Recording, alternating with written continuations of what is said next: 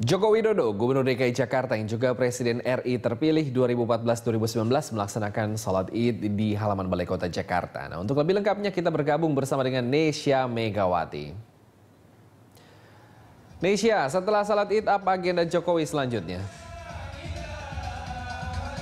Ya, uh, Christian setelah sholat id, Jokowi bersama keluarga juga akan menggelar open house yang berada di gedung Balai Kota. Dan memang sekitar dia sudah melaksanakan sholat id dan bukan hanya Jokowi dan keluarga, namun juga sekitar ada uh, ratusan PNS uh, atau SKPD dari uh, Pemprov DKI Jakarta yang melaksanakan sholat id di gedung Balai Kota.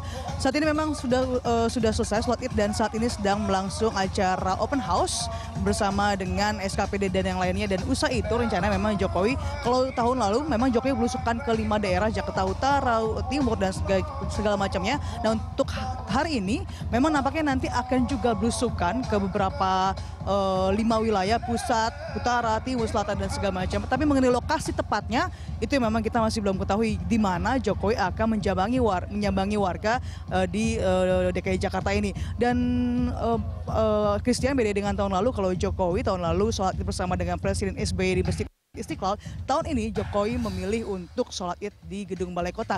Yang berbeda juga adalah Presiden juga pemirsa adalah di Gedung Balai Kota memang biasanya tidak pernah ada penjagaan yang ekstra ketat ataupun ada metal detektor.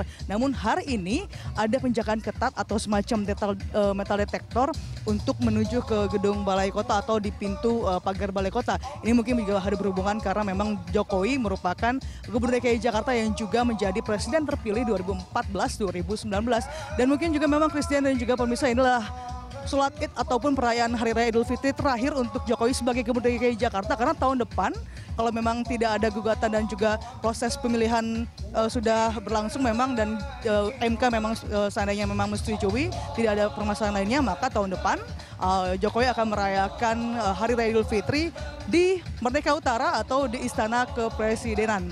Christian.